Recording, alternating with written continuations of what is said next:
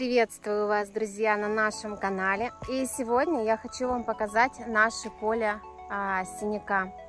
Этот синяк мы засеваем специально для того, чтобы наш, нашим пчелам было откуда собирать мед.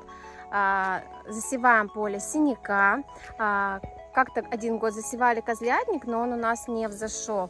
А, засеваем а, доник и фацелию. Вот, сегодня вечером приехали, вот такое небольшое поле, конечно, но очень красивое. Все так, синяк зацвел очень обильно. И днем а, здесь большое количество пчел.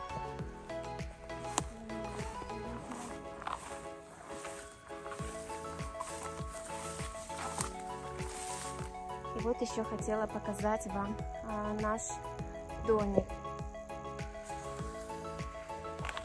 Аромат от доника стоит просто изумительный.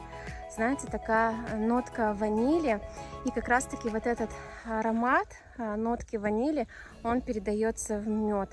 То есть, если от синяка и фацелии мед темный, маслянистый, то от доника мед такой он бело-желтый, ну такой светло-желтый, маслянистый ну, мелкозернистый, то есть, да, по консистенции, и имеет такой приятный а, ванильный вкус.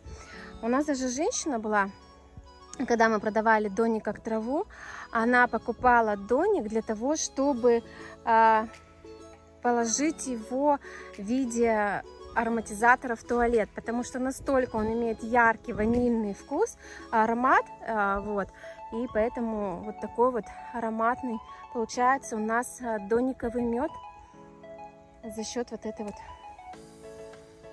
очень ароматной.